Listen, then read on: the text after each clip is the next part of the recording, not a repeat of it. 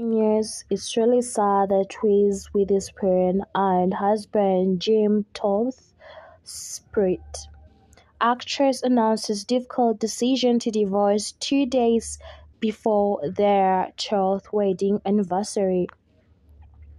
Reese Witherspoon and husband Jim Toth are divorcing following almost 12 years of marriage.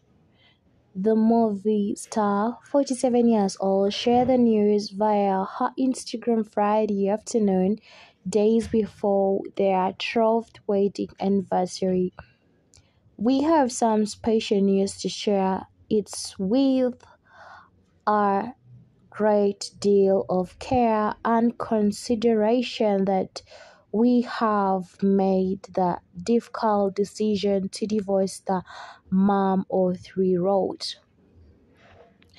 It's really, really very sad news, and we hope the decision of her divorcing the husband. We really don't, or we really can't tell what really caused the divorce, but it's all about marriage decision in, the fact that she has three kids with the husband and they've been married for 12 years and they've been going to celebrate very soon um two days before like before the 12th wedding anniversary. That means she came to a conclusion of having a divorce with the husband jim toth. Hope she recovers from this divorce scenario and I would like to give you a thumbs up.